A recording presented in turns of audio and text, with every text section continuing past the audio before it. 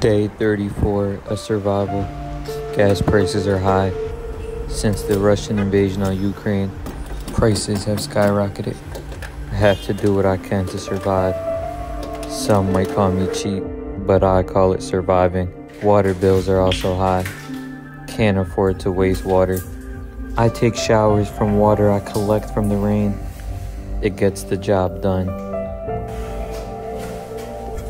Food is scarce. I'm on my last few bites. I don't know how I will survive, but I will. The food is weeks old, stale, dry, but I have no choice. Can't afford to waste electricity. Life is hard, but I'm staying strong. In the words of Martin Luther King, faith is taking the first step, even when you don't see the whole staircase.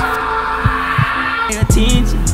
Man, I fell down to my knees when the law came. It's here, it's here. Bro, can you turn on the lights? I got you.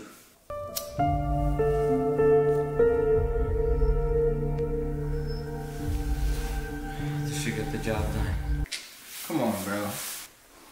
Bro, can you at least put the heat on? It's freezing in here. Get warm, man. Bro, you're sick in the head, bro. Bro, you're fucking insane, bro. What a fool. Eric thinks money grows on trees, but he will learn one way or another. I will make sure of it. Vengeance will be served. Run while you still can, cause I will catch you, and I will destroy you.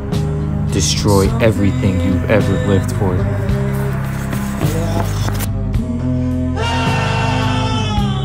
I am vengeance.